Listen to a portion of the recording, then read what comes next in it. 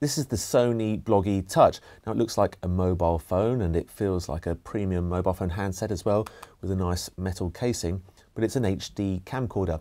It can take HD video and also 12.8 megapixel stills.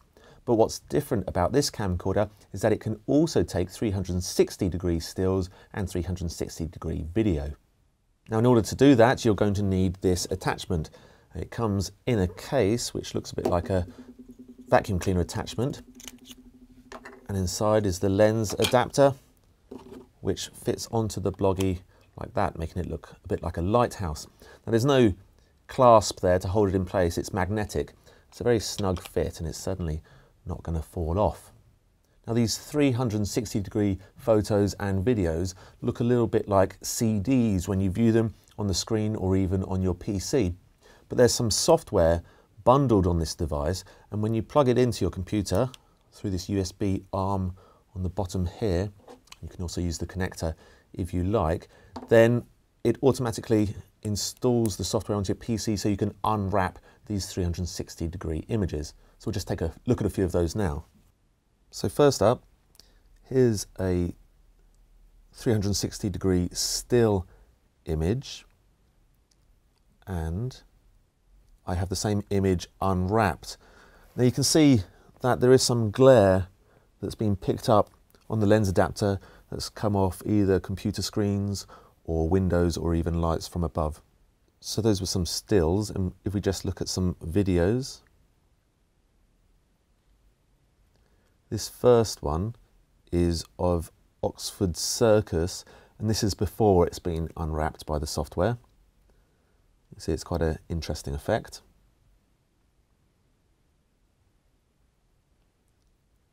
And then some that's been unwrapped. It's the same clip. You can see there's some distortion and you can correct that a little using the software. Now the Bloggie has a built-in accelerometer, so it knows when you're shooting in landscape or portrait.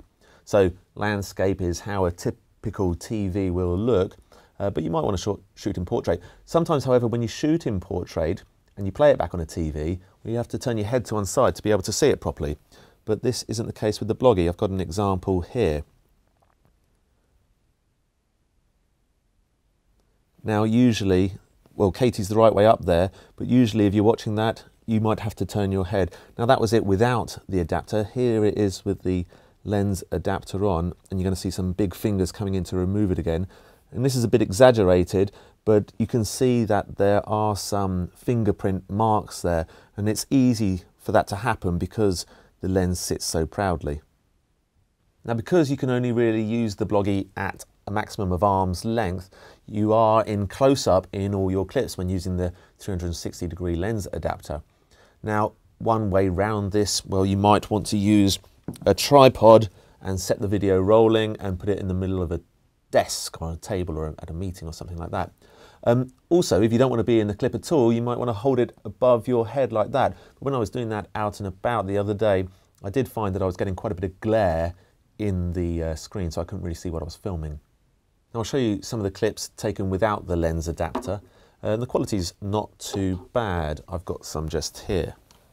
Now the first one I want to show you I shot in Regent's Park and it shows off the digital zoom which is quite clunky. You can see the pitch quality is not bad. It's not too bad at panning. Uh, there is some delay when you go from left to right. Uh, here you can see the four times digital zoom in action and it is a bit a bit jerky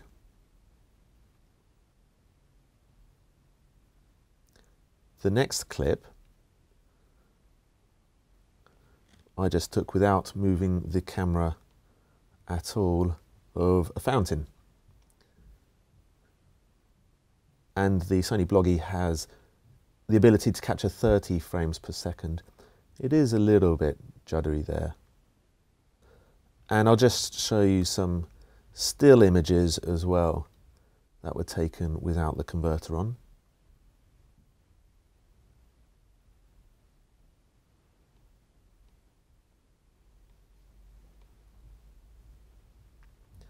This is one using the digital zoom of the BT Tower.